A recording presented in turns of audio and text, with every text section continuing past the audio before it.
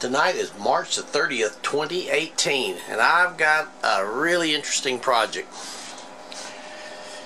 This is a parallel push-pull 300B amplifier.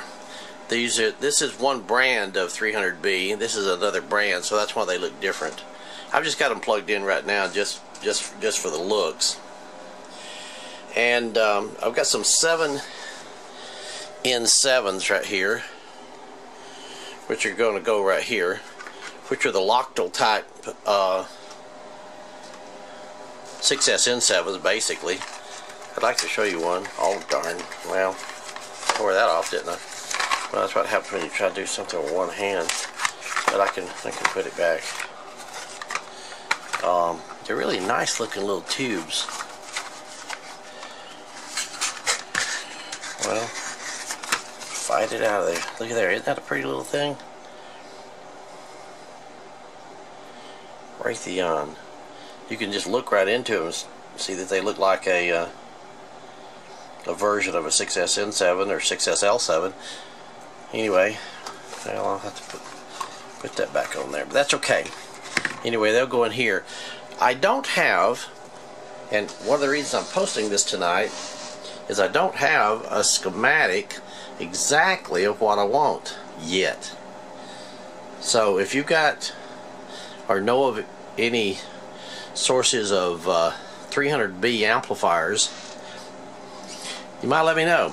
Here's the power supply for it. It's got a big UTC transformer over here. This is a CG422. Got lots of taps on it, oil capacitors. This is a filament transformer. Got a bunch of taps, so you can you can look down in the red there and, and see it. And this is a, a dual choke. Not exactly sure how that came about. But this right here, this is a UTC, um, oh darn, what's it called? It's written down here. It's a um, LS58. See, it's, I don't know if you can read that. I hope you can. 2,500 ohms plate to plate or 1,500 ohms.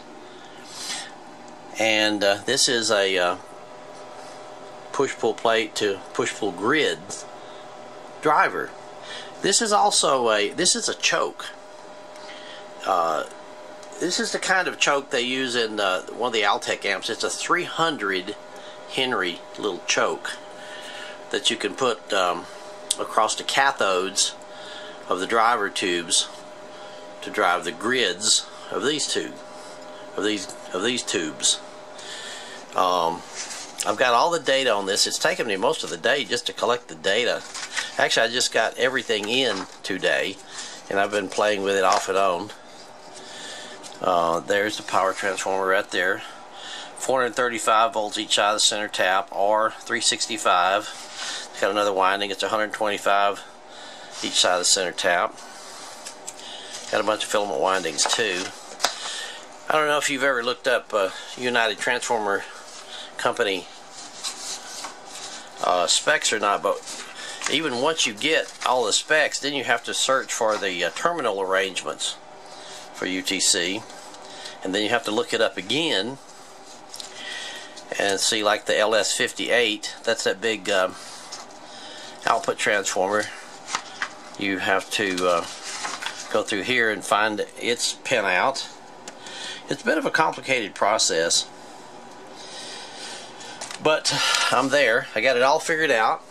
I have measured them with my uh, little device over here for measuring inductance and I'm very pleased that it can even accurately measure this one. I measure this one at like 315 henries. Yes, 315 Henrys. Very high. These are these are beautiful transformers, aren't they? This one measures, I think, about well, maybe I should show you. I don't know if you want to watch me uh, measure the inductance of transformers again, but I think it's about six or eight Henrys. Actually, surprisingly low. You know, the transformers like the Acrosound transformers, they come at up at 20 something, 20, 21, 22 Henrys. Uh, I've got a Chicago Standard transformer that measures 40 Henrys, and I actually expected this one to be at that level, but it's not. Now this one right here, because it's a 50,000 ohm um, grid winding, it measures up in the 30 or 40 henries. I don't remember. I did measure. I measured them all because I wanted to know. One, I wanted to know what this was. Actually, I need to. I need to measure this and post it. I'll pull these tubes out. I'm going to turn this guy upside down, at least measure this one and this one. Show you how they how the measurement process works. If nothing else, to measure and document and post what this is because you're not going to find that in any kind of a manual. So let, us do that. Well, let me let me show you some other things though. Here's a rectifier tubes. Let's just take a peek at those. This is just a look-see right now.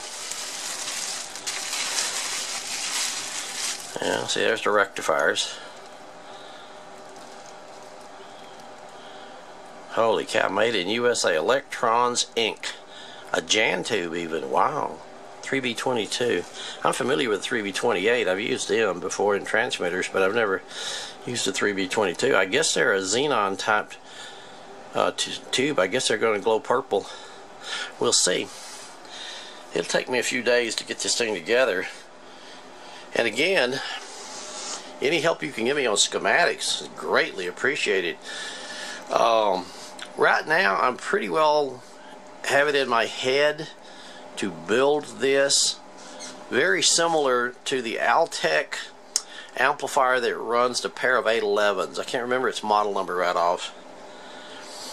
It uses, in the beginning, it uses like a 12AX7, which we could use, but we're going to, you know, kind of a Williamson design, except this goes in the cathode of the driver, and then it drives the grids of these tubes.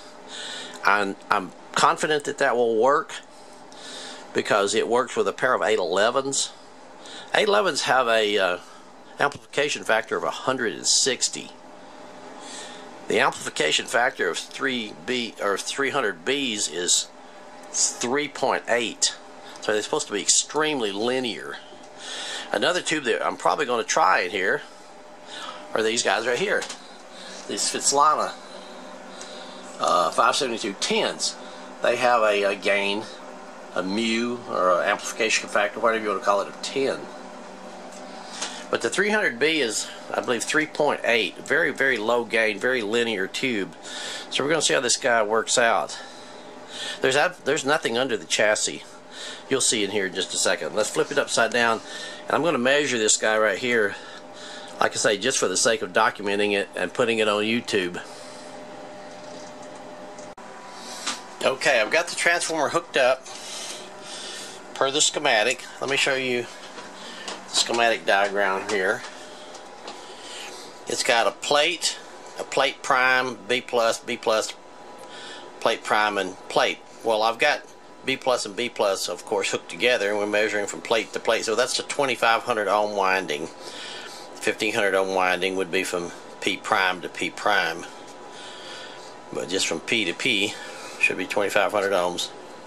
Actually, I'm going to measure the impedance of it too. What I also found out before we take a look at it is this is going to be ground down here. And then the impedances start coming up and then you strap these two together. And then the impedance comes up and up and up and you strap those two together and up and up. So you get all of the, uh, the values of impedance, which are actually pretty remarkable. The output impedance is 500, 333, 250, 200, 125, 50, 30, 20, 15, 10, 7 and 5, 2 and and 1.2. Pretty amazing, huh? Or I see I can get the 2500 ohm plate to plate or 1500 ohm. Well, I've got it strapped right now for 2500 ohms, but actually all we're going to measure right now is the direct inductance of it. This would be plate to plate. And here are the results. Uh, I have to put in this is the frequency I'm testing it at 40 hertz. Uh, these are the values in my test jig 2000 ohms and these voltages 3.4 milliseconds etc. But here's the number. Here's where the rubber meets the road 6.4 henries. I expected it to be a lot higher than that. It's 55 ohms DC resistance, so it has a, a Q of 29 point 0.75 at 1 kilohertz. 6.4 henries. I expected it to be 40 or 50 henries. I don't know. Anyway, that's what this little setup right here And what we do is we measure the voltage across uh, the whole um, instrument, the voltage into the, uh, the bridge that I built, and then we measure the direct voltage across the coil and uh, it all goes into here. And then we measure this phase shift right here. I know some of you told me to measure from uh, zero crossing to zero crossing and I'm I've done that. But I'll tell you what if you if you actually go into here if you go into the vertical menu and you put this thing in AC if you put both of them in AC and you try to measure it at zero cross you will actually end up with an error because uh, at 40 hertz the uh, capacitors in series to make it a uh, to make an AC coupling causes some phase shift in itself. So I don't do that. I just measure it peak to peak. I get the same answers measuring peak to peak as I do zero cross and it's 3.4 milliseconds. See I can move that uh, move that. I measure the very peak of that one then the very peak of the other one. You know best I can. Looks about right and then uh, look up there. There it is the delta up there 3.4 milliseconds.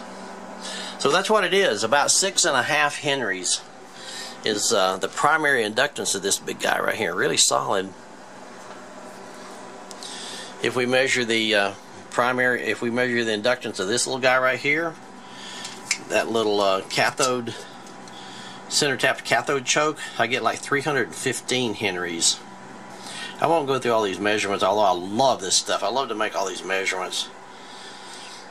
But I wanted to do this before I built it, and it didn't work right, and I wondered what happened. You know, don't want to start troubleshooting it. To know all the components are good. This is good too. I've measured the uh, uh, inductances. I don't know what it's supposed to be, of course, but it's it's like 300 henries or so across here because this is a 50k primary, or actually secondary. This is uh, push-pull grids. This is a center tap grid to grid and uh, the way this works is this is ground. And I guess that's the two and a half and the whatever. And then you strap some of them together and then you get the next one and the next one next one.